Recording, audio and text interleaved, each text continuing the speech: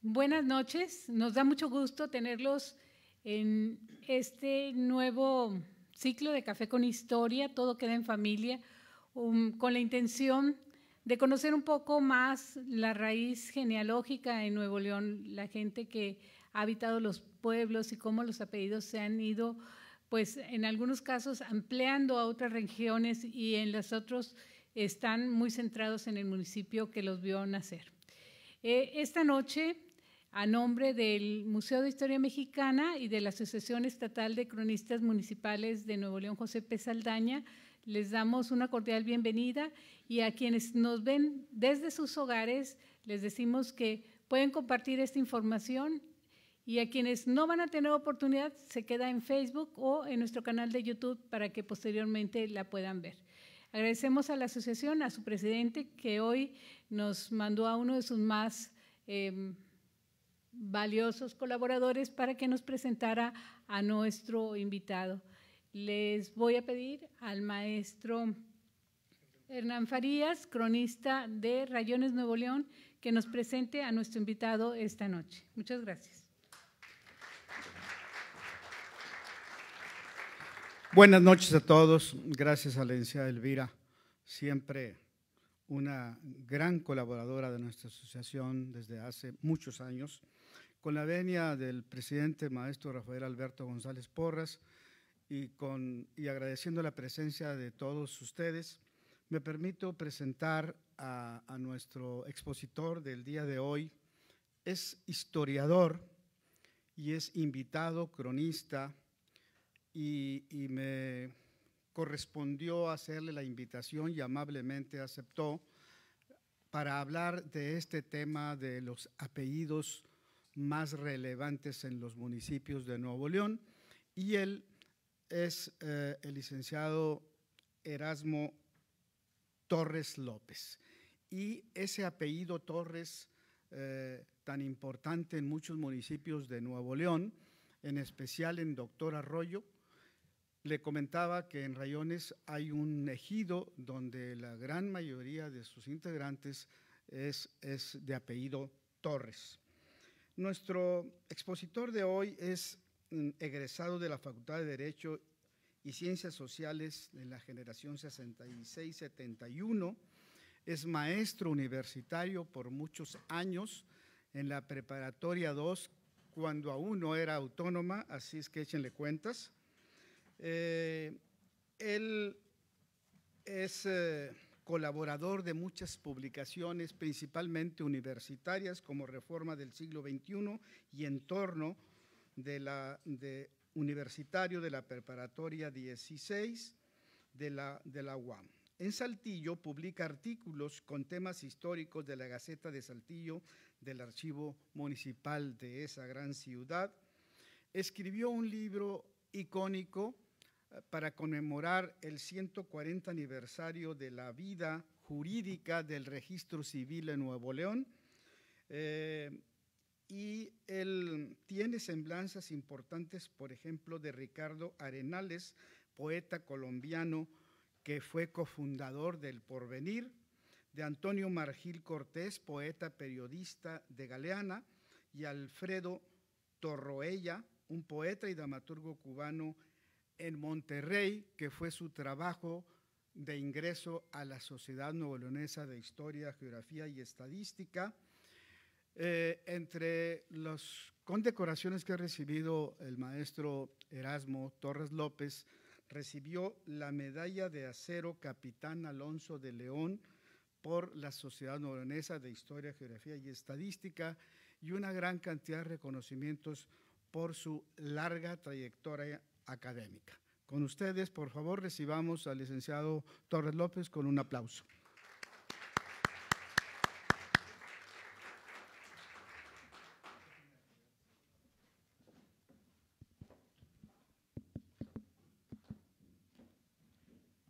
Bien, pues buenas noches a todos.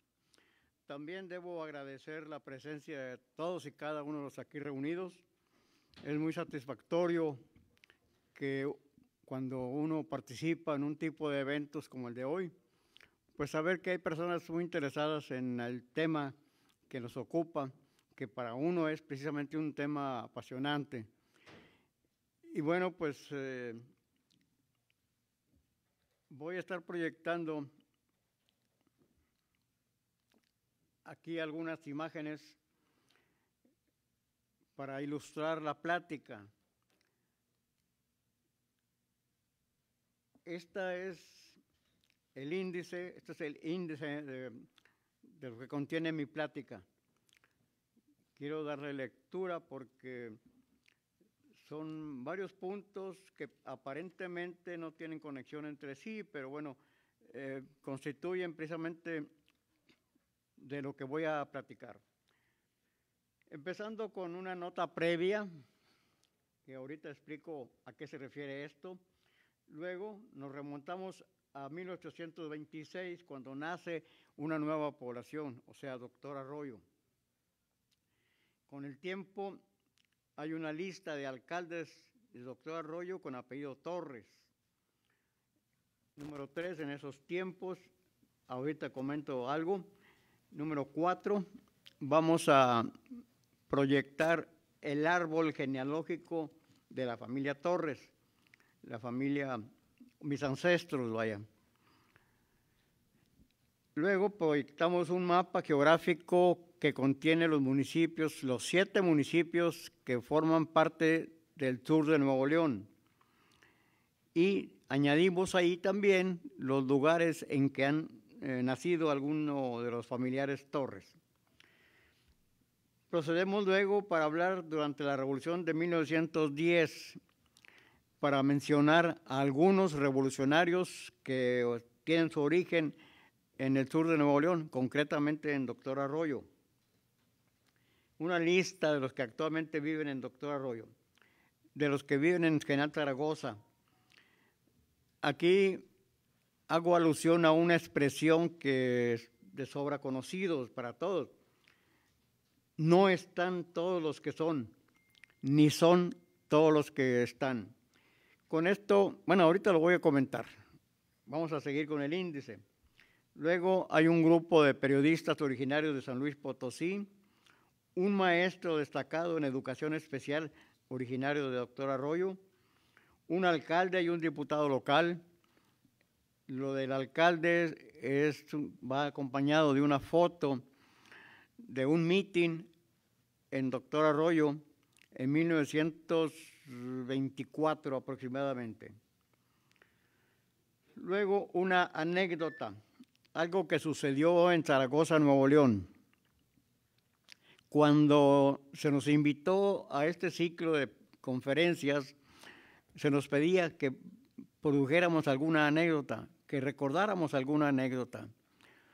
Yo la verdad dije, bueno, pues no tengo ninguna anécdota personal, pero debemos cumplir con los eh, parámetros que nos fijan para este tipo de pláticas y obviamente que encontré una anécdota de algo que sucedió en Zaragoza, Nuevo León, de lo cual, por supuesto, en su momento voy a hablar. Seguimos hurgando, buscando torres en administraciones municipales de varios municipios del sur y un punto muy curioso que se le llama la, torrada. Yo puse la torreada es la torrada, según me aclaró Hernán Farías, es la torrada, ¿verdad? Correcto. Ahorita explicamos por qué se llama así este, este, esta población. Ya más o menos podrán imaginarse cuál es la razón de que lleve ese nombre. Es un, no es el nombre oficial, así se le conoce coloquialmente. Ese lugar se llama Ejido Pedro Carrizales en Rayones, Nuevo León. Bien, Luego puse yo aquí los escudos municipales. Mi propósito era hablar de el escudo municipal de Doctor Arroyo en particular y el escudo municipal de Aramberri. No conseguimos la imagen de esos eh, eh, escudos, por lo cual, con un esfuerzo de imaginación que les voy a rogar que me lo brinden, podemos imaginarnos cómo es el escudo municipal de Aramberri y cómo es el de Doctor Arroyo. aquí hay un punto eh, que a mí me parece muy importante. Es un proyecto que tuvo su desarrollo en Doctor Arroyo, cosecha de agua de lluvia. Hace un momento platicaba casualmente con uno de los aquí presentes sobre algo relacionado también a, no a la cosecha de agua de lluvia, pero sí al tener agua de lluvia en, un ejido donde, en una zona donde se considera zona árida, que por supuesto es escasa la precipitación pluvial eh, siempre. Y esto del agua actualmente en Monterrey es algo de primer impacto. Y finalmente llegamos a, elaborar una serie de conclusiones que por supuesto voy a, voy a ir eh, mencionando.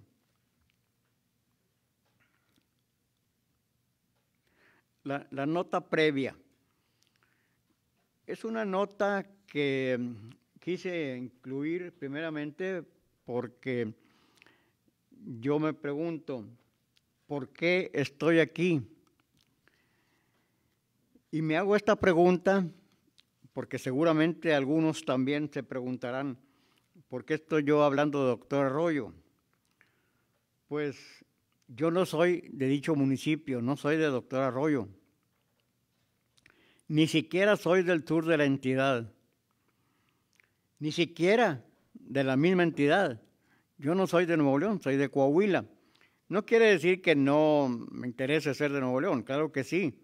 Tan me interesa que aquí estoy desde hace,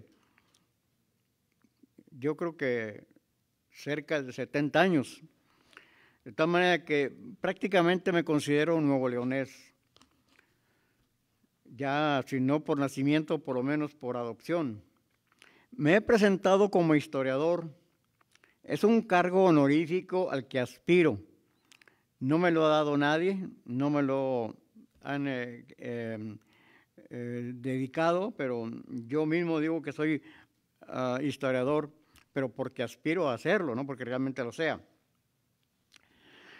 Quiero comentar que en días pasados recibí la generosa y amable invitación del cronista del municipio de Rayones y secretario de la Asociación de Cronistas Municipales, el licenciado Hernán Farías, y me invitó para participar en este ciclo de Café con Historia, invitación que luego fue ratificada por el ingeniero González Porras, aquí presente, y eh, cosa que agradezco, presidente de los cronistas, la cual invitación que aceptaron también de buena gana el Museo de Historia Mexicana y la licenciada Elvira Ramos, alma y motor de este y otros eventos de gran interés cultural. Quiero comentar que cuando el licenciado Hernán Farías me invitó, de inmediato me rehusé, considerando los aspectos ya expuestos en cuanto a carecer de méritos. Además, en Doctor Arroyo hay personas preparadas, como el arquitecto Ismael Nava, que también está aquí presente, que escribe y muy bien, cuyos interesantes escritos el cronista y editor Rubén Hipólito hace circular vía Facebook. Finalmente, atendí el llamado de la sangre, pues doctor Arroyo y el sur del estado son la tierra de mis ancestros, región que tuve además oportunidad de recorrer muchas veces en plan de trabajo, pero sobre todo que en Doctor Arroyo y en todo el sur de Nuevo León, pues están las raíces de mi familia. Nace una nueva población. En 1826,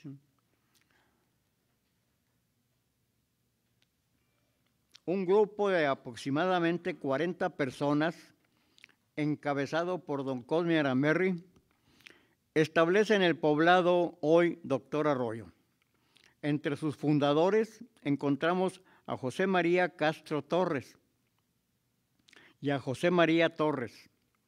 Y entre los primeros habitantes de Doctor Arroyo está Crescencio Torres.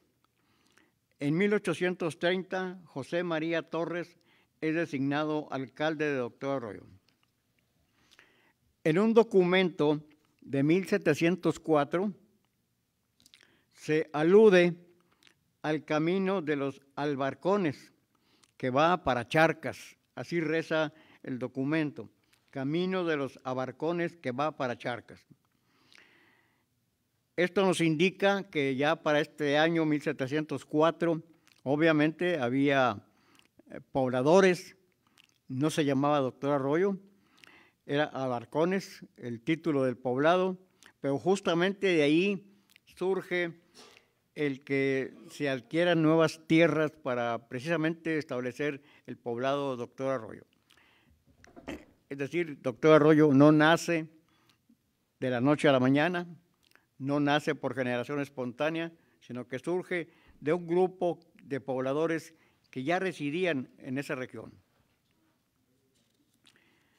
Este dato de 1704 lo consigna don Humberto Buentello Chapa en Toponimias de Nuevo León, un cuaderno del archivo de 1987, del archivo del Estado, claro.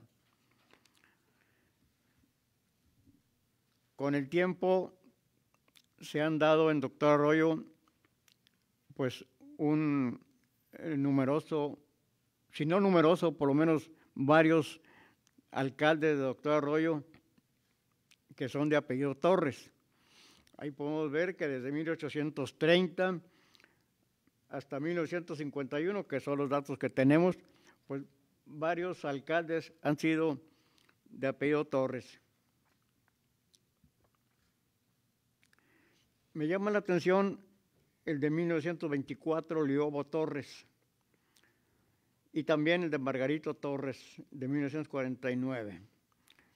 Liobo Torres fue un revolucionario, pero que un hijo de él, al que le dio el mismo nombre, fue maestro aquí en la universidad no hace mucho. Y Margarito Torres, ahorita lo vamos a comentar porque hay una foto donde aparece la aparece Margarito Torres en una en, un, en una campaña Ah, es que le piqué mal al botón aquí, pero ya, ya quedó, ya quedó. Al paso de los años, en 1851 encontramos aquí a Juan N. Torres, a Isidro Torres en 1853, a Juan Nepomuceno Torres en 1854, a Anselmo Torres en 1879. Anselmo Torres era militar. Manuel Torres en 1885, también militar. A Manuel Torres en 1887 como diputado al vigésimo cuarto Congreso Constitucional de Nuevo León. Era entonces gobernador del estado el general Lázaro Garza Ayala. Vemos en un informe del gobernador Bernardo Reyes de 1893 que Juan N. Torres era propietario de la hacienda de San Cayetano, en Doctor Arroyo. En el mismo año de 1893, J.N. Torres, quizá es el mismo antes mencionado, de Juan N. Torres, y él era dueño del rancho San Francisco de Torres, en Galeana. También en 1893 encontramos en Aramberri como propietario del rancho Las Ánimas al señor Cleofas Torres. Y Timoteo, Rosa, y Timoteo Torres era dueño de Sandia el Chico. Sandia, había Sandia el Chico y también hay todavía Sandia el Grande. Por ese mismo tiempo, en particular, en el año 1894, circuló en Real de 14 San Luis Potosí y en el sur de Nuevo León el Eco de la Montaña, un periódico dominical literario y noticioso administrado por Pedro A. Torres. Menciono este periódico porque sabemos que el norte de San Luis Potosí y el sur de, de Nuevo León han estado siempre ligados por lazos familiares, comerciales. Esto, claro, en virtud de la cercanía geográfica de estos lugares. Este es el árbol genealógico de mis ancestros. Y quiero comentar que, bueno, no es un árbol, es un abanico genealógico. También quiero comentar que esta imagen no es mía, es de mi sobrino Mario Torres Gámez, que me lo facilitó para ilustrar esta plática. Y toma como punto de partida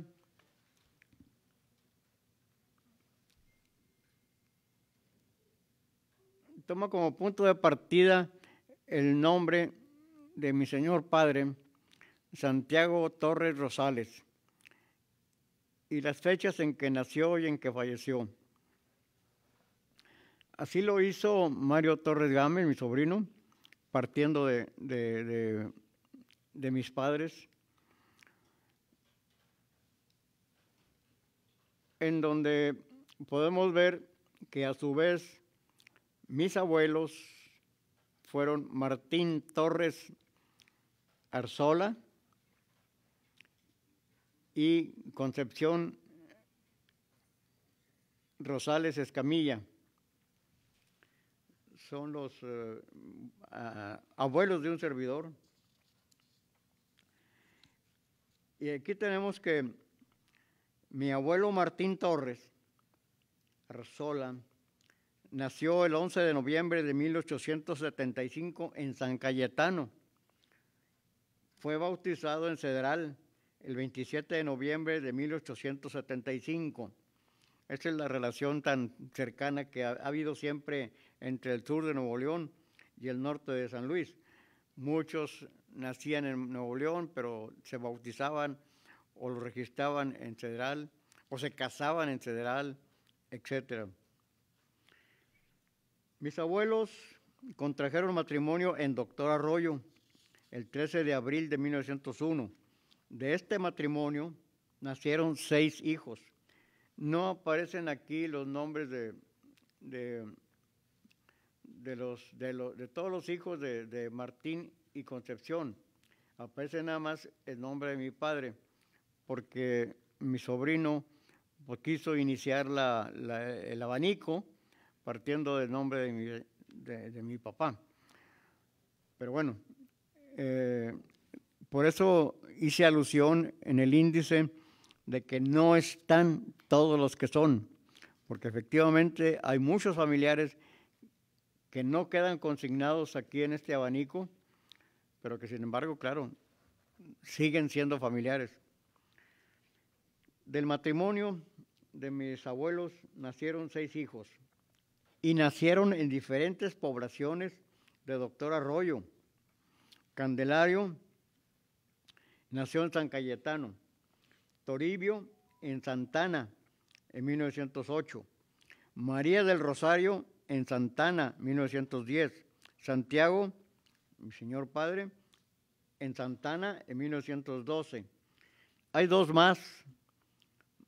María Estanilada, que conocimos como la tía María, y Zenón, mi tío Zenón, de los cuales nos faltan sus datos. Es decir, em, este árbol genealógico o algunos datos que consigna el abanico genealógico, como también los datos que me proporcionaron mi sobrino Mario Torres y mi hijo, el arquitecto Félix Alfonso, em, no, no, no encontraron las actas de mi tío Zenón y de mi tía María Estanislada.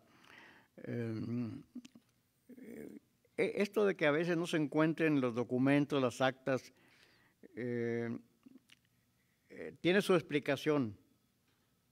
Vamos a ver si más adelantito lo podemos eh, dar a conocer, aunque sea brevemente.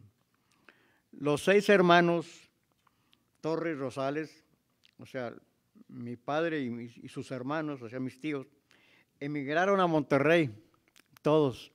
No al mismo tiempo, no en forma simultánea, sino con una previa estancia que pasaron en Saltillo, cada uno en su momento. En las cálidas tierras regiomontanas arraigaron todos los, rosales y crecieron sus familias, o sea, los hijos de mis tíos, mis, mis primos. Con los años, las mismas tierras que los recibieron calurosamente les brindaron el cobijo eterno. Unos reposan en el enorme panteón de Apodaca, ubicado entre Santa Rosa y el Mezquital. Otros en Monterrey, en el Panteón de Dolores. Mi padre yace en el Panteón Municipal de Monterrey. Con cierto parentesco, algunos torres de Doctor Arroyo emigraron a los Estados Unidos. Quiero comentar que mi sobrino, Mario Torres, ha contactado a varios de esos uh, doctorarroyenses que viven en Estados Unidos por medio de una página de internet donde se publican los componentes del ADN de cada uno. De esa manera se dan cuenta que contienen los mismos componentes y por consiguiente, platicando, se han dado cuenta que, tienen el mismo origen. a final de cuentas son familiares.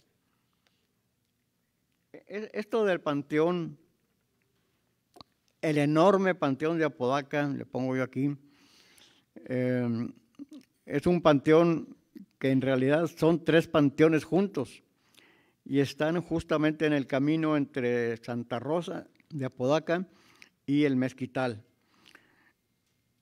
Me llamó la atención desde un principio que Santa Rosa es un, eh, una población pequeña, como el mezquital también, y sin embargo, tener un panteón de tanta eh, capacidad tan enorme, yo dije, ¿cómo es posible que, haya aquí tantos difuntos si, las poblaciones son pequeñas? Pero bueno, este, no, no, no le encuentro yo una explicación lógica, pero simplemente ahí así se ha dado. voy a regresarle. Ahí está, todavía. Seguimos todavía con el árbol genealógico, que no es árbol, es abanico. Quiero comentar que mi abuelo, Martín Torres Arzola, mucho tiempo vivió en Aramberri, concretamente en La Chona, y pastoreando un acto de cabras en Las Ánimas, un rancho de un hermano de él, muy cercano a La Chona, eh, pastoreando ese hato de cabras, murió en los campos sin cura ni confesión, como reza la canción de Atahualpa Yupanqui. Quiero comentar que un día mi abuelo, Martín Torres, sale al monte con las cabras, cae la noche y las cabras regresan a la majada. Ellas solas regresaron. No, no el abuelo, el abuelo no regresó. Como ya era noche, no había manera de que los familiares fueran al monte a buscarlo, de tal manera que esperaron a que amaneciera. Y cuando fueron a buscarlo, obviamente ya lo encontraron muerto en el monte. Procedieron a darle sepultura, obviamente, en la chona. ese es mi abuelo Martín Torres. Mi abuela Concha Rosales falleció en San Miguel, población cercana a Huinalá, en Apodaca. Mis bisabuelos fueron Feliciano Torres Hernández y Patricia Arzola Lugo, ambos doctorarroyenses. Él, de San Cayetano, nació el 20 de abril de 1844. Ella, del Tecolote, nació en 1859. Contrajeron matrimonio en Cedral el 5 de febrero de 1875. Feliciano falleció en San Cayetano de enfisema pulmonar y fue sepultado en Cedral el primero de marzo de 1916. Por el lado materno, mis bisabuelos fueron Romualdo Rosales López y Felipa Escamilla, vecinos de El Tecolote. Los padres de mis bisabuelos fueron José Antonio Torres García y Regina Hernández. Él nació en 1810 y murió el 5 de febrero de 1873 en San Cayetano. José Antonio Torres García desciende de José Vicente Torres y de María Bárbara García Galván, quienes contrajeron matrimonio en 1807 en Matehuala, San Luis Potosí, siendo vecinos de La Encarnación, poblado de San Luis Potosí. Él dijo tener 21 años, es decir, que nació en 1786 y tener 8 años de ser vecino de La Encarnación.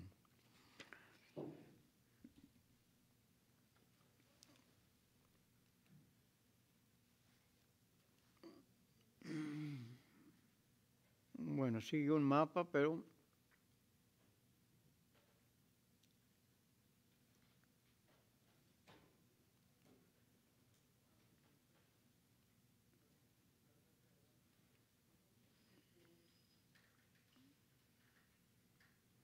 Ah, faltaba esto, faltaba esto. ¿eh?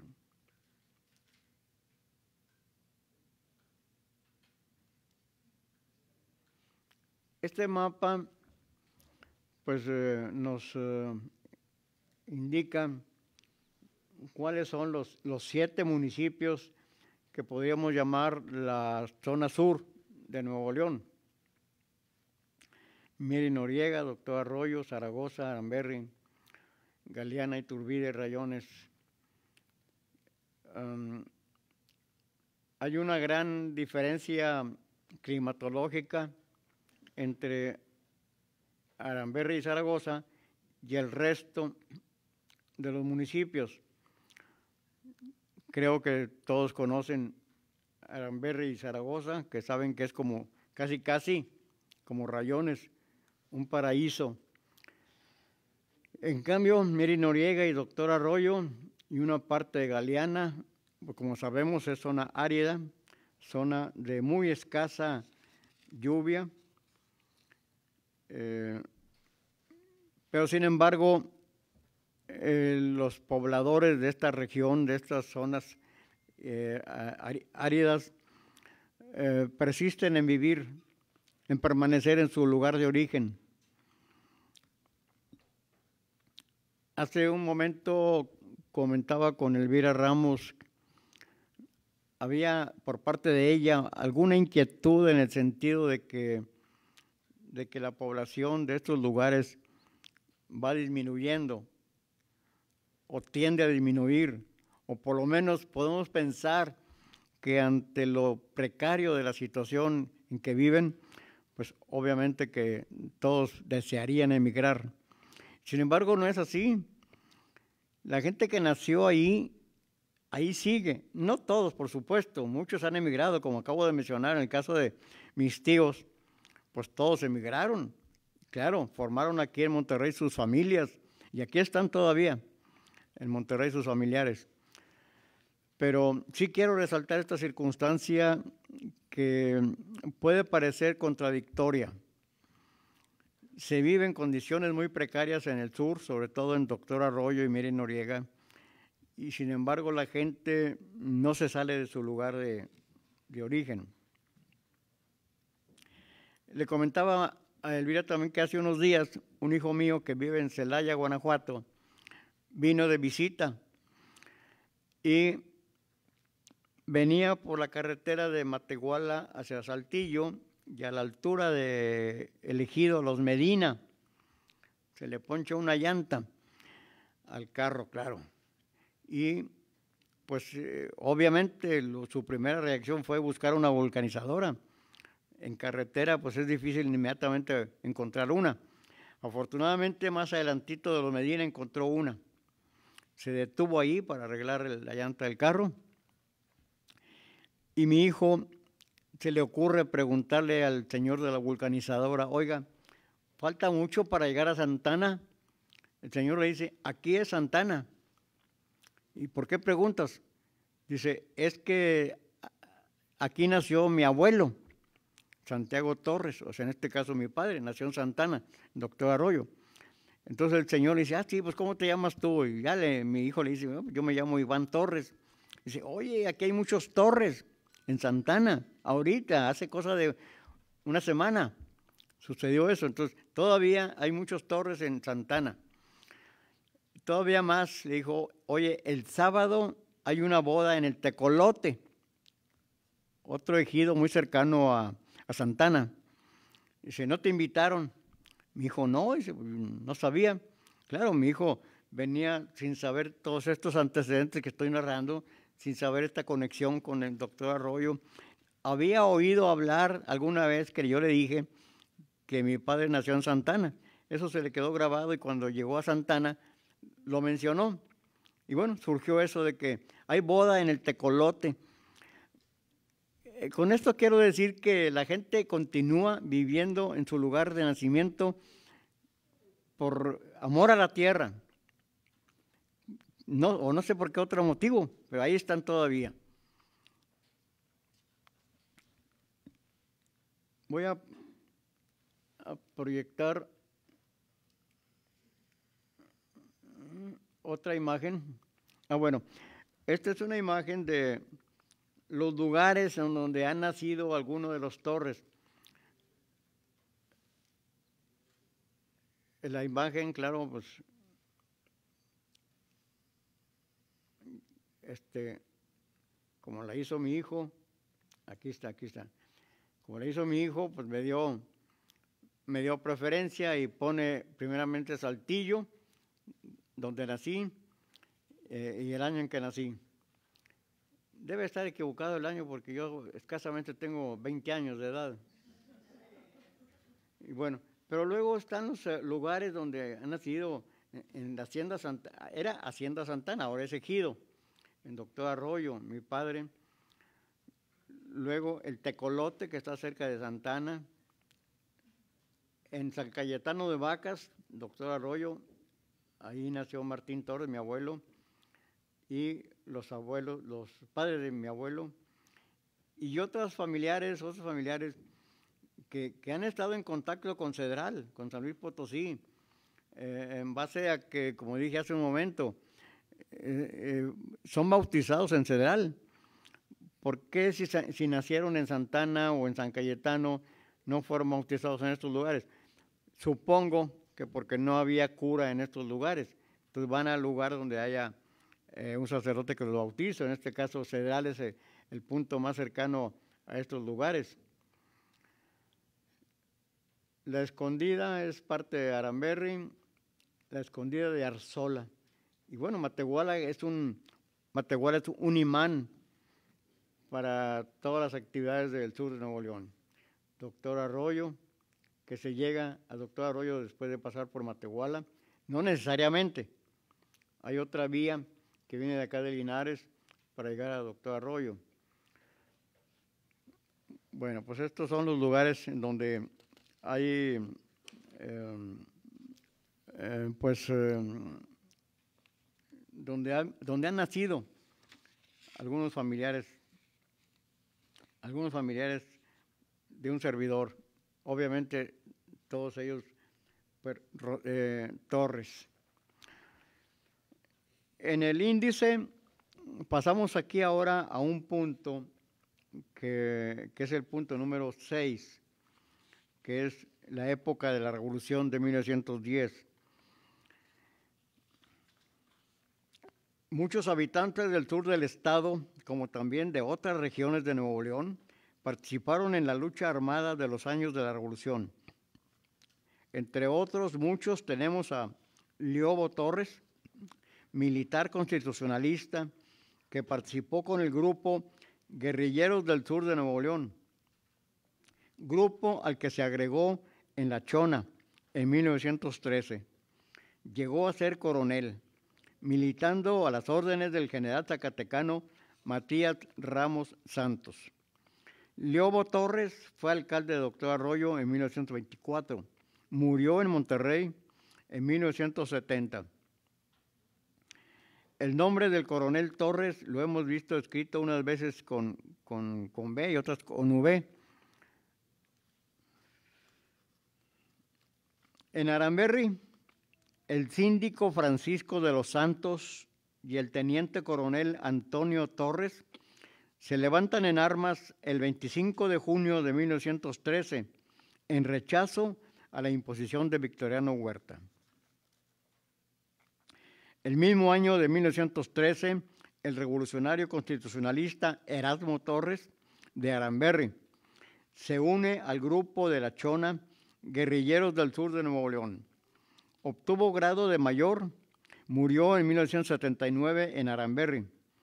Se impone comentar la circunstancia de encontrar en Aramberri un homónimo, pues el nombre de Erasmo no es muy común. En Aramberri don Erasmo Cerda fue un personaje muy conocido. Por 1970 tuve la oportunidad de conocer en China a un ganadero de nombre Erasmo. Y actualmente el cronista de China también se llama Erasmo. Eh, tal vez por esa razón nos, confunden.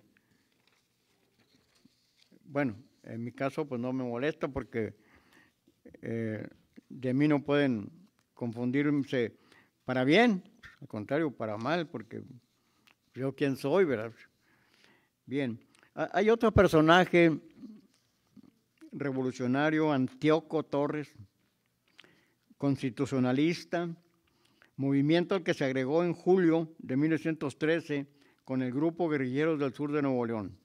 Llegó a teniente coronel Murió en Monterrey en 1978. Antíoco Torres militó a las órdenes del general Félix U. Gómez. Precisamente lo tratamos a Antíoco Torres en las ocasiones en que los veteranos de la revolución se reunían cada año, el 21 de junio, en el puente Félix U. Gómez, en ocasión del aniversario luctuoso del general saltillense Félix U. Gómez. Antíoco Torres Rubio es mencionado por Jaime del Toro Reina en su libro Aramberri, Nuevo León, 1626-1950, cuadernos del archivo número 27 de 1988, una presentación de Mario Treviño Villarreal. Aquí cabe hablar de los Carrera Torres, tanto del general Francisco S nadie me ha podido saber, me ha podido decir qué significa la S de Francisco S. Carrera Torres, como de su hermano Alberto Carrera Torres, quienes nacieron en Tamaulipas, pero vivieron y actuaron en el sur de, nuestra entidad, especialmente en Doctor Arroyo y en Zaragoza. En Miera y Noriega viven los Carrizales Torres, emparentados con los Carrera Torres. Juvencio abogado inquieto e impetuoso.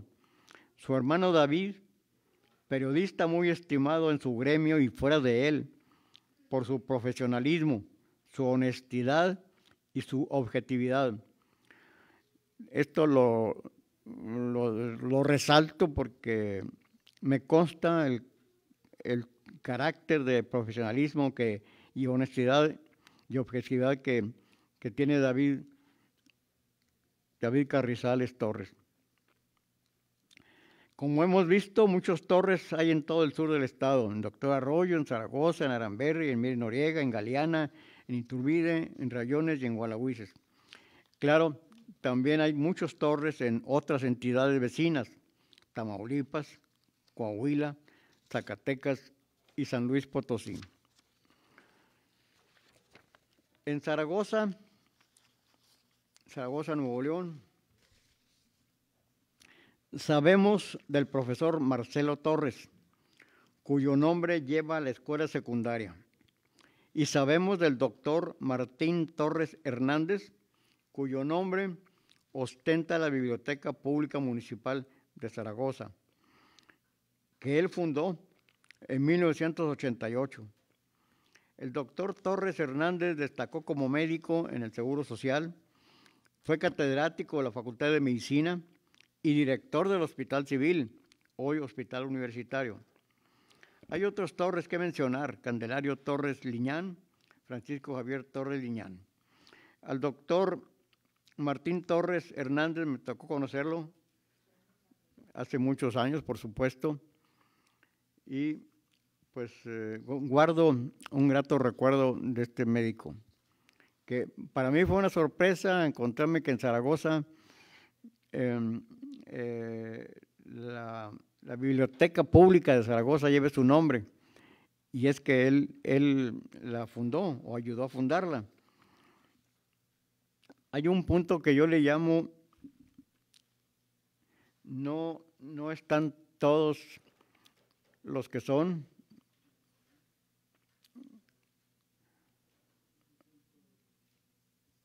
A ver, creo que ya lo pasé. Sí, es el punto número nueve. No están todos los que son, ni son todos los que están. Con esto quiero decir que no he puesto todos los que sé que son familiares directamente.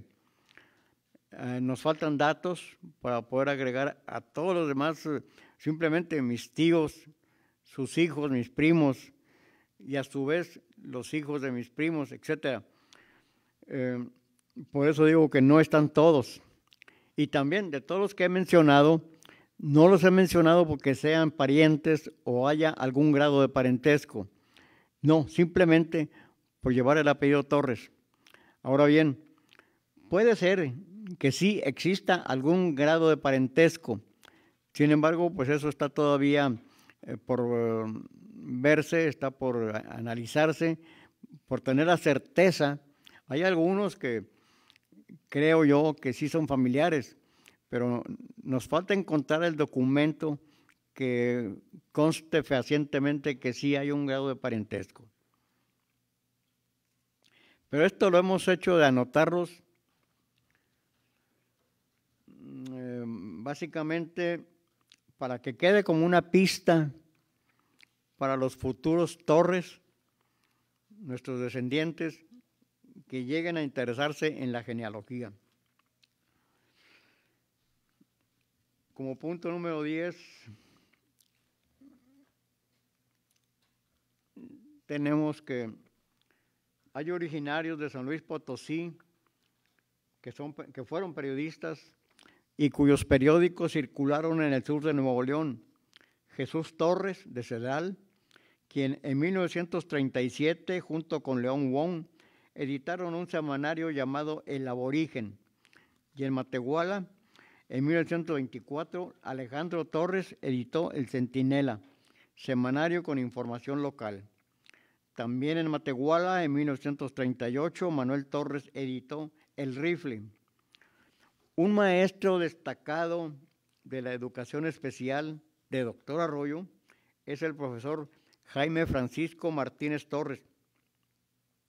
Nacido en 1939, estudió en la normal Miguel F. Martínez y en México DF se especializó en problemas de audición y lenguaje.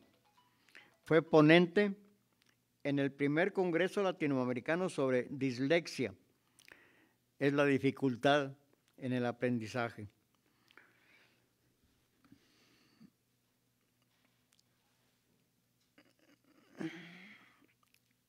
Elvira, cuando sea la hora de cortarle, me dice si le corto, porque no me quiero, no me quiero sobrepasar. Diez minutos. Correcto, gracias. Bien, e, esta es una foto que me gustó mucho esa foto, esta foto viene en este libro de Rosenda Villanueva Pardo, una fotógrafa de doctor Arroyo. Eh, eso es un trabajo de investigación de Enrique Tobar. Este es el libro que vamos a, rifar en un momentito más. Decía yo que esta foto me gusta porque precisamente es un, un meeting, una concentración de campesinos en apoyo, dice, Capaderito, uh, apoya a Margarito Torres. Está muy doblada la manta, pero eso es lo que dice aquí, que es un grupo de campesinos que están apoyando a Margarito Torres para que sea alcalde. Y fue alcalde, claro. Eran los tiempos en que no había, no había manera de, de que llegaran otros. En fin, bueno, eh, ya es una historia que todos conocemos, ¿verdad? Una anécdota que sucedió en Zaragoza, Nuevo León. Quiero comentar lo siguiente. En, en Zaragoza me tocó conocer de cerca eh, una situación chusca y lamentable porque lo tengo aquí escrito, pero se lo voy a platicar de viva voz.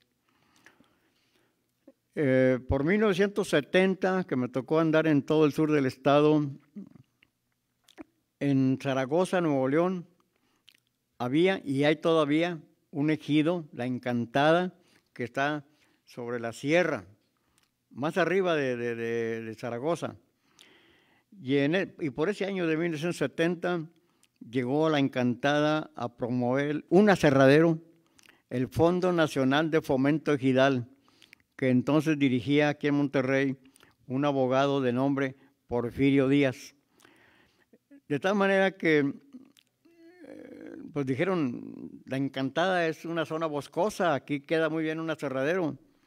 Y el FONAFE, pues inmediatamente dijo, pues sí, ponemos un aserradero.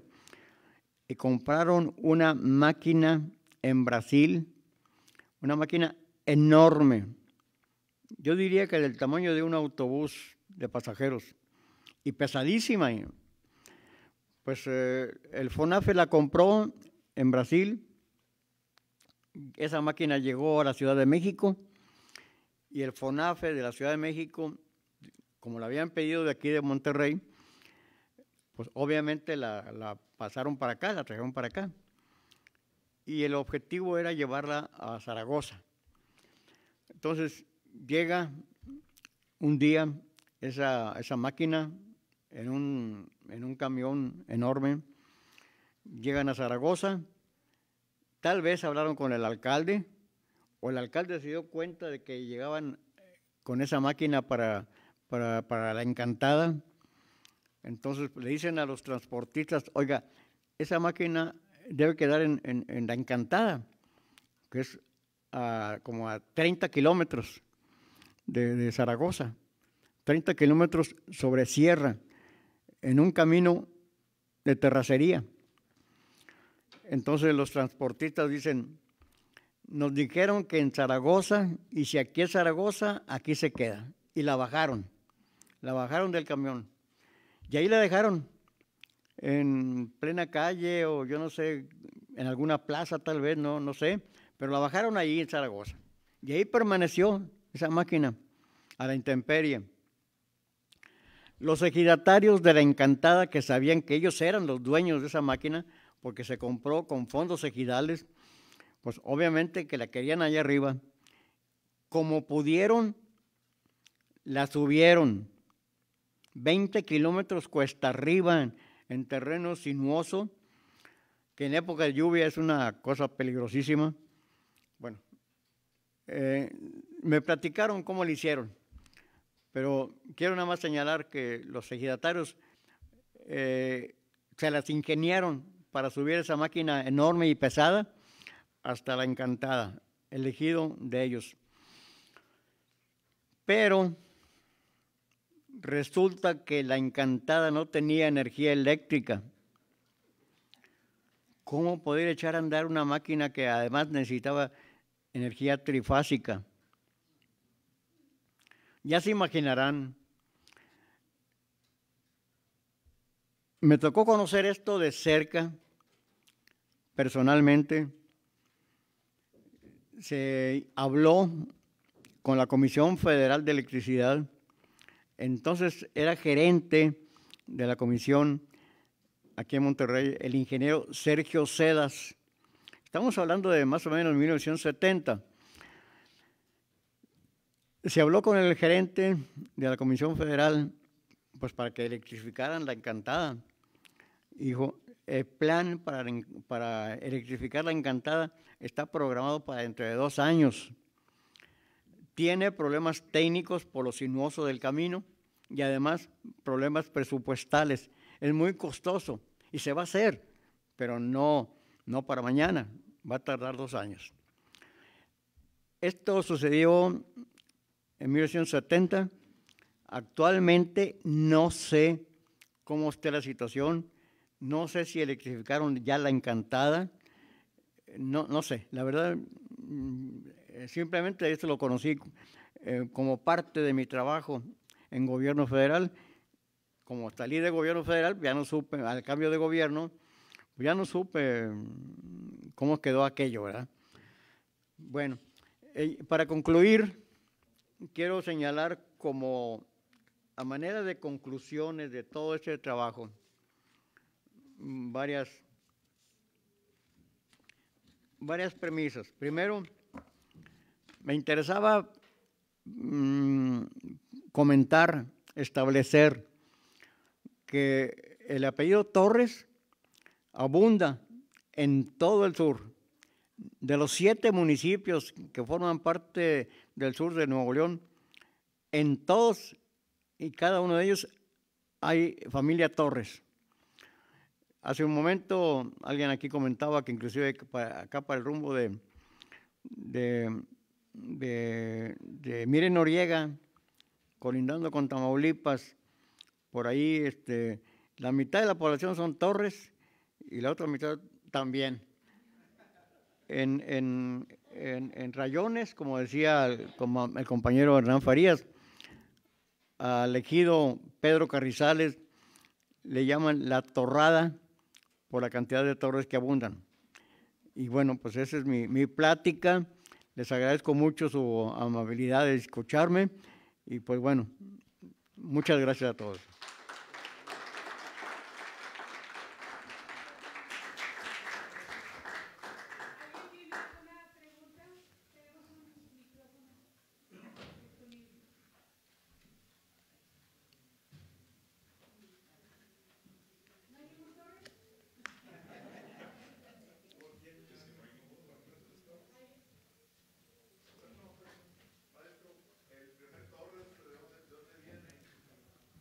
¿Perdón? ¿El primer torre de dónde viene? ¿De Portugal o de España? No lo tengo determinado. Les ofrezco una disculpa. Este es un tema que eh, no se agota como uno quisiera. Es decir, hay muchas cosas todavía que, que uno quisiera saber, pero el, el, documento más antiguo que hemos localizado es de 1780 aproximadamente y, no se establece de dónde llegó esa persona, el primer Torres, no se establece. Hay que seguir indagando más atrás, pero esto ya implica más tiempo, más recursos, más todo, ¿verdad? Y además alguien que de veras sepa hacer estas cosas. Nosotros estamos aquí nomás de, como dice, de, de aventados, y yo ni siquiera soy de doctor Arroyo, yo ni soy cronista, ni soy genealogista, nomás que pues me aventé al ruedo y dije, bueno, pues total.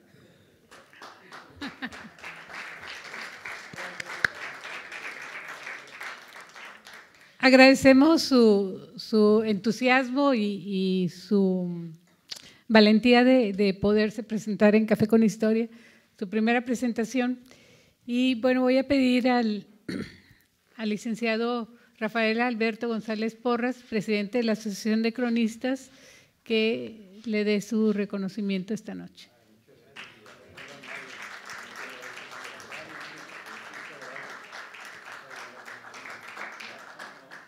A ustedes los esperamos el próximo martes, donde hablaremos de los primeros apellidos del municipio de Escobedo con la licenciada Umbelinda González. Muchas gracias. Ah.